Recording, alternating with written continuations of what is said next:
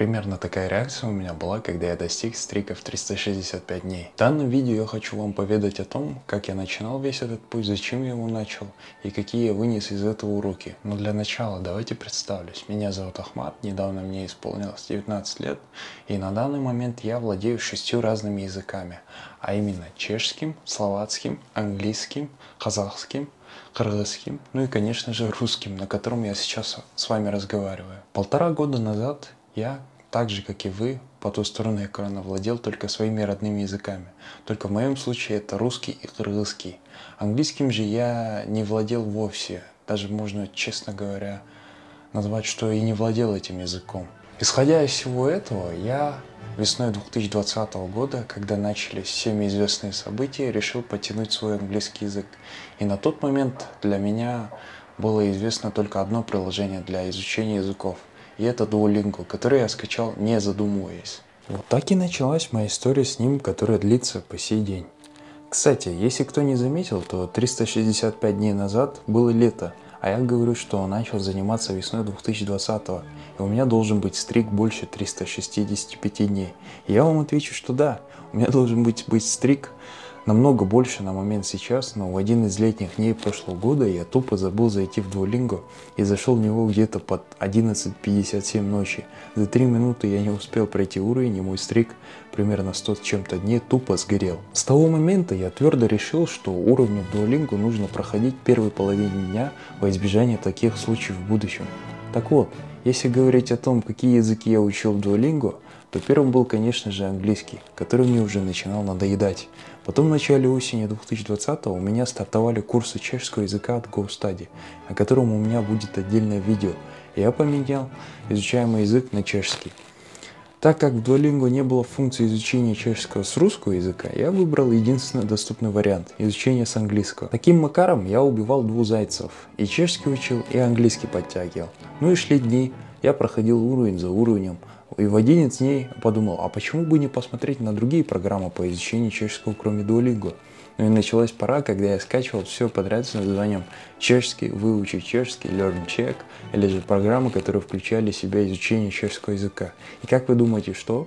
А в общем-то и ничего такого, потому что большинство имели уроки только начального уровня и учили выражением по типу «Привет», «Меня зовут так-то, так-то» или «Как пройти до такой-то станции», что, конечно же, меня разочаровало, потому что параллельно у меня шли курсы, на которых мы уже продвинулись далеко за те уровни, которые были в приложениях. В целом, были и нормальные программы изучения, но они стоили баснословных денег, что-то вроде 15 или 30 долларов за курс. Кому-то, может быть, это и недорого, но лично я считал, что это не стоит своих денег, учитывая, что у меня параллельно шли курсы, и все равно купленная программа была бы второстепенным инструментом.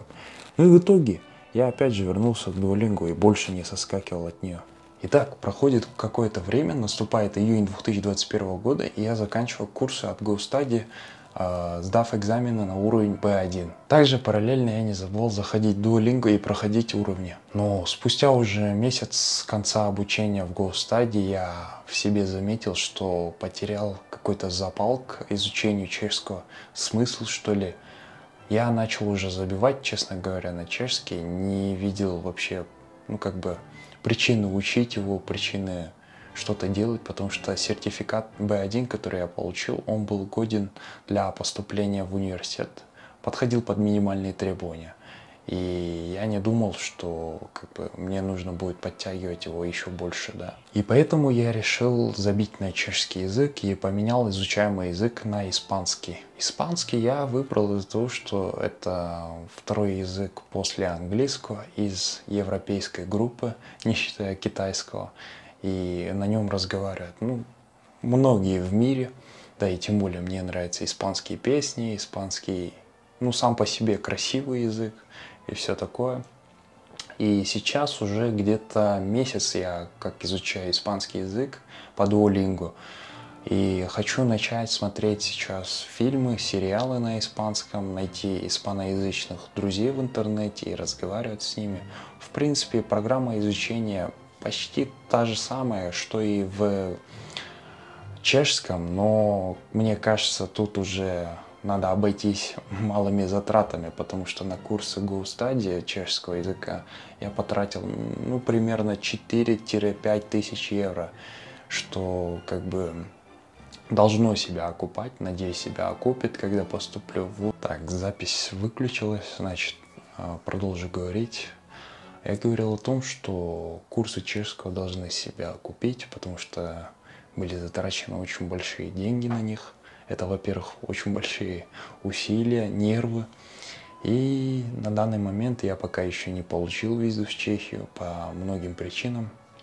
Так что будем ждать. Подводя итоги, скажу, что Duolingo максимум может выступить для вас инструментом для ознакомления с языком, либо же для его ну, поддержания, если вы начинаете его забывать, да, и находитесь не в той языковой среде, которую изучаете, да. А подробно же про то, как я изучил остальные языки, кроме чешского, английского, я расскажу в других видео подробнее. Так что сейчас же мы можете, вы можете в комментариях оставить впечатление об этом видео и рассказать, какие языки вы сейчас сами изучаете и какие хотели бы изучить. Возможно, я выберу для себя следующий язык после испанского. Так что да, желаю всем чести, удачи. Всем пока.